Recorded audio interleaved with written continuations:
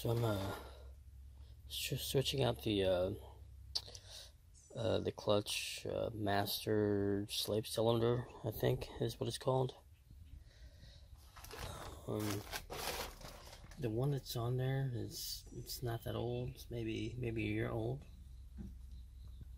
uh, but it's last uh, week or so. I noticed that it's been been been leaking by the by the pedal.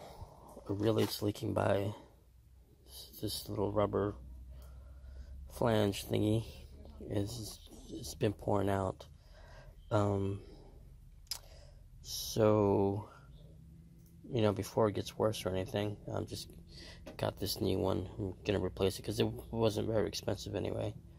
Um, I already uh, drained the um, uh, the brake fluid. But I'm gonna set the phone down on the uh, on the tripod and start uh, unbolting um, the uh, uh, the clutch uh, master slave cylinder. Um, the the good thing about this one is it's actually easier to remove. Um, if you saw the video with the, the brake booster, the brake booster has four bolts from the inside that are holding it in place. And this only has two bolts, and they're from, from the from the firewall, so that's all that's really holding it. And from the uh, underneath by the pedal, it's essentially the same process as your uh, brakes. Hopefully I can get everything in view. Um, it, I'll try to point at it from where we're at, from our angle. And hopefully you can see it. Here is the,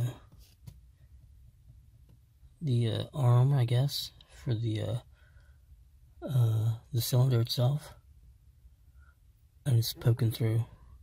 We just have to, uh, there's a little pin, no different than uh, the one over here for the, for the brakes. And you follow the same process. Okay, so I'm pressing lightly on the clutch pedal. And the sensor is right right here, but you know, on the other side of this little bracket that I'm got my finger on. So you want, from what I can see, the distance of um, look a little bit higher, and you, uh, but right, literally where my finger, my middle finger's pointed, is the uh, the hole where um, the clutch pedal and that uh, clutch, uh, the cylinder meet. Let's see if I can get the, from my angle, get this uh, in. Don't know if I'll be able to, but I will try. It's tough to, everything is in the way.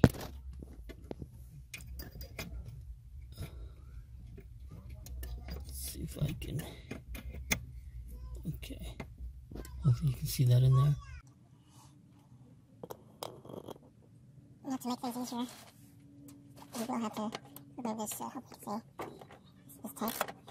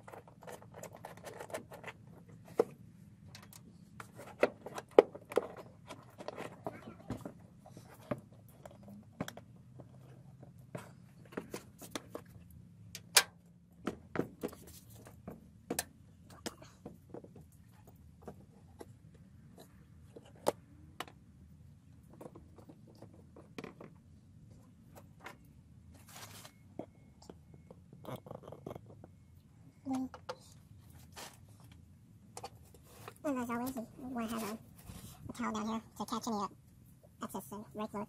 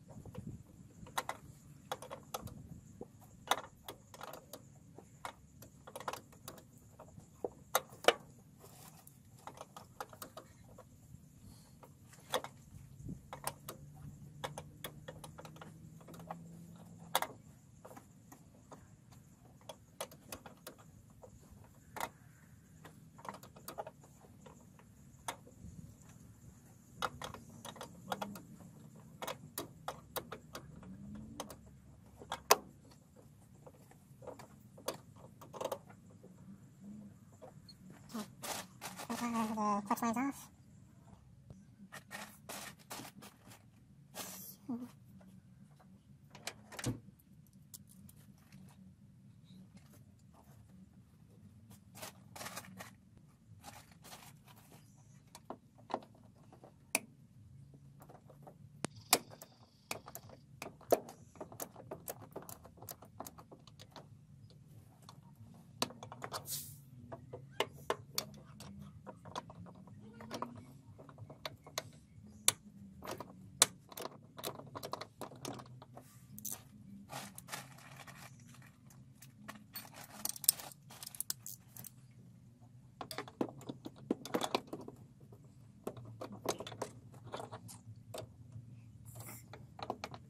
This is gonna work.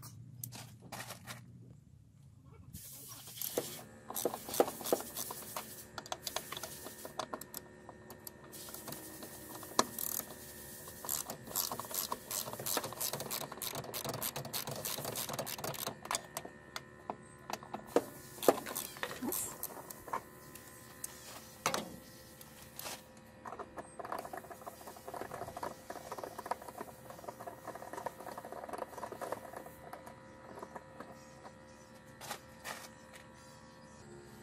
These uh, extendable magnets kind of heavy. And those moments where you don't have a room to uh, grab the nuts that you're uh, getting loose. These- Yeah, these magnets are a lifesaver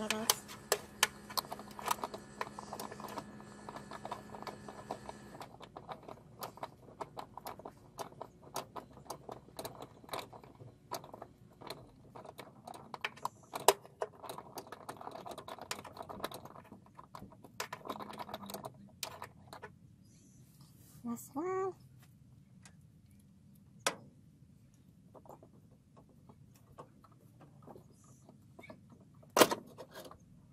And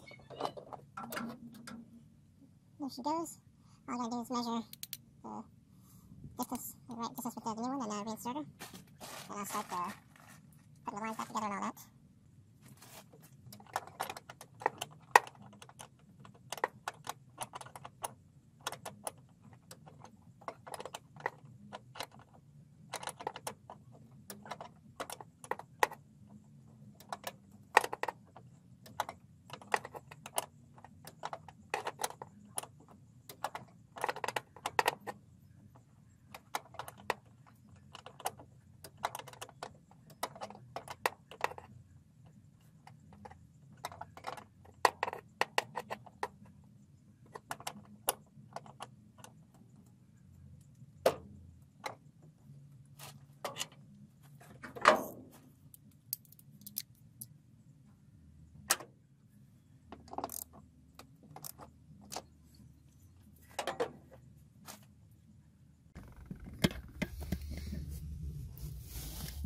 Okay.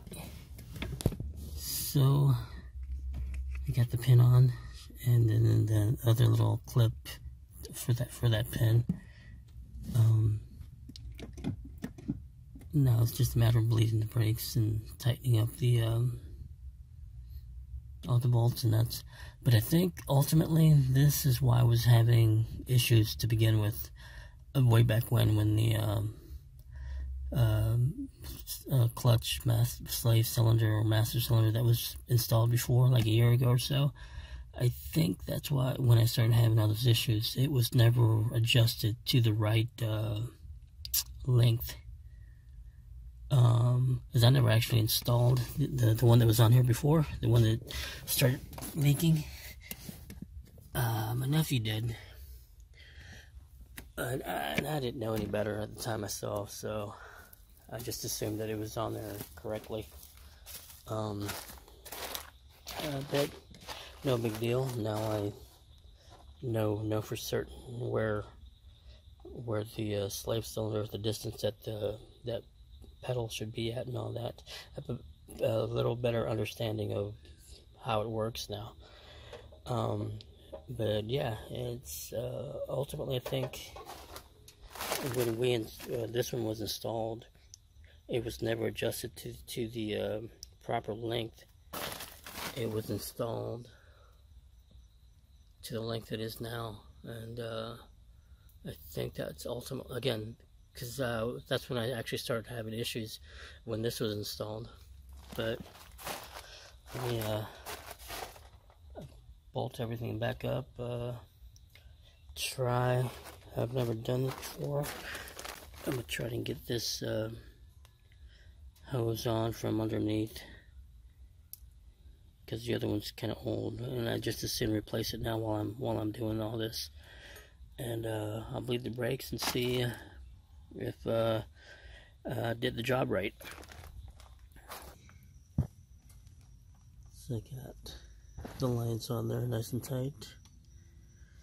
Not leaking, thankfully. Um, okay, so you have to bleed the the clutch, the clutch system is no different than bleeding your brakes.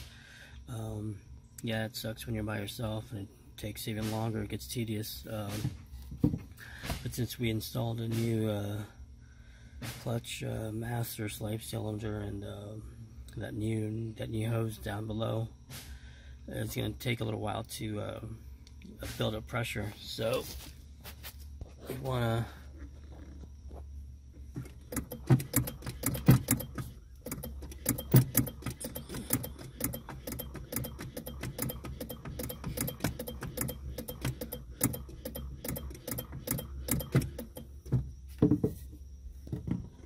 do that and then use an object to wedge between uh, your seat and uh, the clutch so it's completely pressed.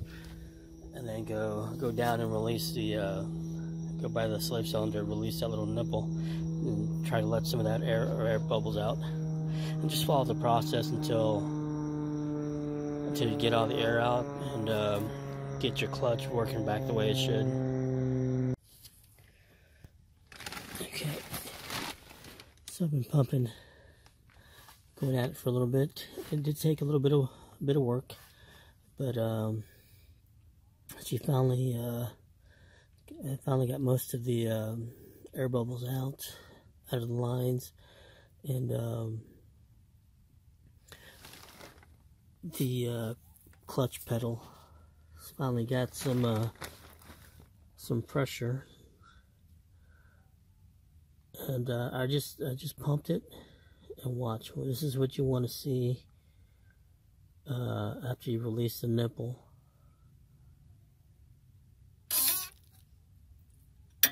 Oops, my bad.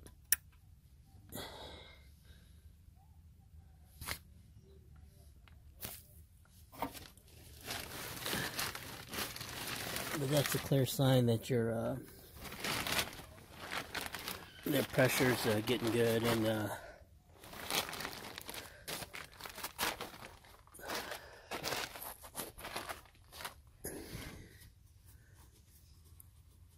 and um, the clutch is starting to get back to normal. At least I can press it whether my, either with my foot or my hand. and uh, it's just got a pretty good pressure. So I'm gonna do this a few more times just to, you know, for peace of mind as always, and uh, I'll be back. Okay. Uh, so I got the truck running through her gears and all that, got her adjusted, just, you know, found that sweet spot. And as I'm making those adjustments, I realized another thing. This, you know, this, again, this is new for me. Another one of those things is trial and error. You can physically adjust the shaft from inside the truck. Um, since the shaft is free flowing, I'll, I'll do this, try to explain this from out here so I don't have to be upside down in there explaining it. Let's just pretend that uh, this is the pedal she's already connected just for explanation's sake. Um, you see how I'm turning the shaft right here? It's still turning. You can literally do that, do that with your fingers while you're down there. Okay. And while you're doing that, see if we can get a better angle. You see the location of the shaft itself right now? That's actually not the right spot. It needs to go further forward. Find, uh, give me a second. Okay, so I use the screwdriver. It's a little better, better uh, thing to use. Let's pretend that it's that pin, the pin that we put pin to the to the pedal that, that mates the pedal to this fork. Okay, you're down there and you need to make your adjustments. Uh, again, you can physically make them down there with by hand. And this nut this adjustment nut is really just there to, uh, see if I can loosen the sucker a little bit. Well, you know what, it actually helps you make those adjustments as well. Uh, but again, eh, but you can make those adjustments yourself. And I realized as I'm making those adjustments, uh, if this shaft is uh, see how it's uh, extending? Right there? That's actually while you're doing that it's increasing the distance between the pedal and the sensor that it's pressed against the clutch sensor that uh, activates and deactivates the sensor when you press uh, press the clutch your, your pedal or or release it. So you want to turn the shaft clockwise until uh, again you know I got my lines all completely uh, bled that's not an issue. So it's just a matter of finding that sweet spot. And I got it. I found it as you know as I'm down there I have the engine running to make things quicker but as I'm turning the shaft. That was about the sweet spot right there. And then I turned the, the nut all the way over here to, uh, uh, as a stopper, you know, so that the, the fork doesn't uh, start to ride forward or cause any, any, or ride back and cause any more issues. Um, so that is the the easiest way to make your adjustments on the fork. You don't even have to, ultimately, you don't actually have to take your clutch master cylinder out at all. You can make your adjustments from the truck. So that's cool. And um, so that's about the sweet spot right there. At least it was for me. I don't know. It might be different for you. I'm going to turn the truck on. See how she shifts. Hopefully, she'll get through everything okay.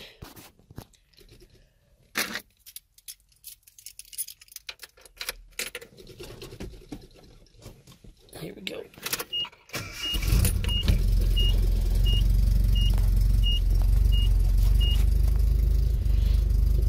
Down on the radio when it turns on, as it's kind of loud.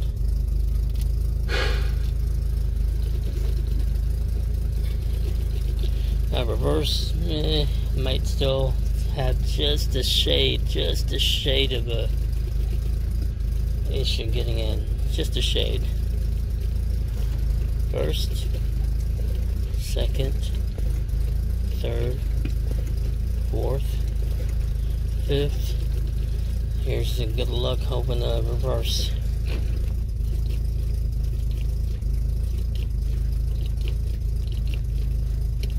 There we go. So that's a load off of that. Um, but yeah, this is a, a, good learning experience for me because I, I, had no idea. You know, you know, uh, I knew that the clutch pedal activates, uh, you know, lets it shift, but I didn't know all those details that we just learned. You know, so it's good. Uh, it was good for me to physically mess with that learn learn that because I didn't know that. So I'm gonna edit this sucker, put all this footage together, and uh, I will upload it. And um, hopefully it makes sense and I didn't make a mess of things. And uh, I will see you.